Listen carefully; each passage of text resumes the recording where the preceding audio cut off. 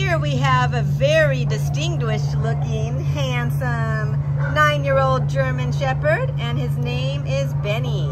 His animal ID number is A55-32292. What can you tell us about, about him, Vicky? He's a wonderful senior. Um, we believe he's housebroke because when I take him out, he'll he goes potty a lot and won't go in his kennel.